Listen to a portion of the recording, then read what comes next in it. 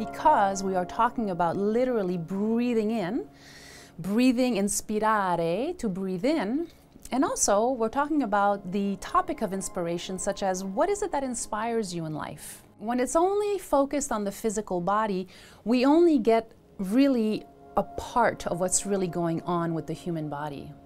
We all know now that there is an integration of mind, body, spirit, and emotions.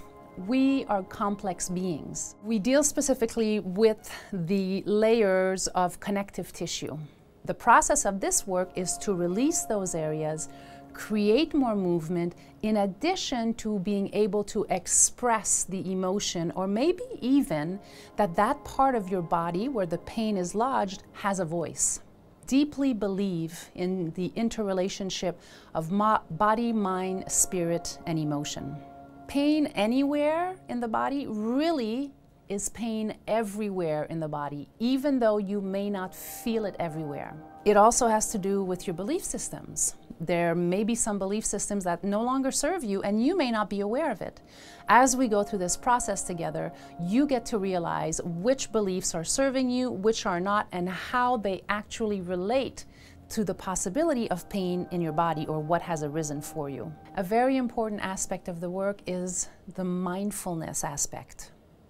The more mindful we are, the more present we are.